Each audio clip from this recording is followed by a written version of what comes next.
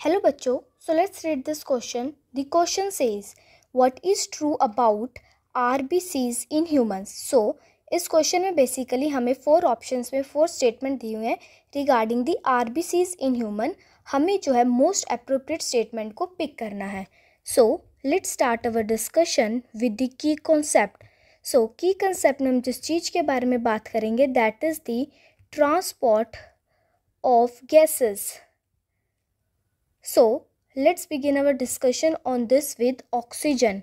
So oxygen पे अगर हम बात करें तो ऑक्सीजन जो है 97 परसेंट ऑक्सीजन बाय आर के थ्रू ट्रांसपोर्ट होता है इन ह्यूमन बॉडी वहीं पर जो rest three percent of oxygen है that is transported by plasma now if I talk about the carbon dioxide so जो कार्बन डाइऑक्साइड की ट्रांसपोर्टेशन है that occur 20 to 25 percent by R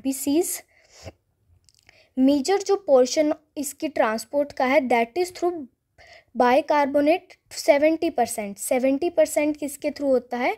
by carbonates के through then जो rest seven percent transportation है. Rest seven percent transportation जो होता है that is by plasma so Here's the key concept.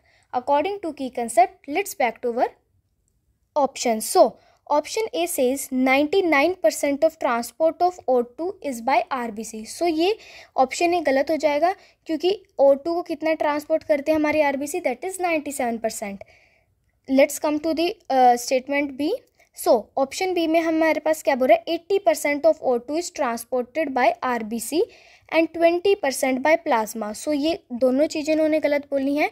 Oxygen ninety seven percent by R B C and three percent by plasma is the correct so बीस जो option है वो भी हमारा wrong हो जाता है। सी ऑप्शन से C O two is not transported at all so ये भी गलत हो जाता है बिकॉज़ हमारे पास जो है twenty two twenty five percent C O two transport करती हैं R B C so C statement भी गलत हो जाती है। Let's back come to the last option that is D option they say they carry the twenty two twenty percent of C O two so yes ये बिल्कुल सही statement है।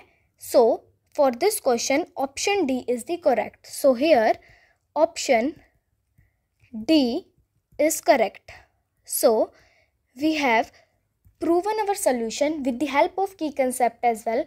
I hope you understood it well. Thank you.